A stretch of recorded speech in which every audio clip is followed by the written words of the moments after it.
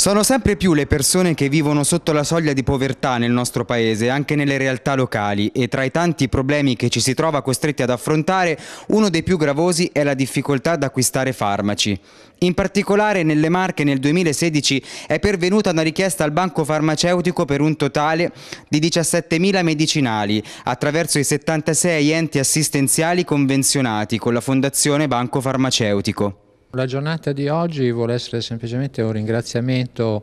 eh, per eh, tutti i volontari, le farmacie e tutti gli enti che hanno contribuito alla giornata della raccolta del farmaco che è avvenuta lo scorso 11 febbraio.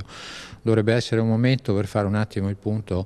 della, della situazione e eh, diciamo, diffondere i risultati di quella che è stata la giornata, sia a livello nazionale che a livello locale che interessa a noi qui nella provincia di Pesaro Urbino, nella fattispecie a Fano. Il banco farmaceutico si occupa di fornire farmaci agli enti attraverso la giornata di raccolta che si tiene in tutta Italia il secondo sabato di febbraio di ogni anno. E sempre nella nostra regione, in particolare nel 2016, sono stati raccolti circa 10.000 farmaci di automedicazione donati dai cittadini nelle 113 farmacie aderenti all'iniziativa, ma la collaborazione che si realizza non solo con la giornata di raccolta, ma anche grazie a donazioni aziendali che mettono a disposizione farmaci e strutture, personale medico e piattaforme web online. Attualmente gli enti farmaceutici convenzionati che ricevono farmaci dal banco farmaceutico sono circa 1500 e comprendono associazioni di volontariato o di promozione sociale, fondazioni, cooperative sociali, enti morali ed enti religiosi.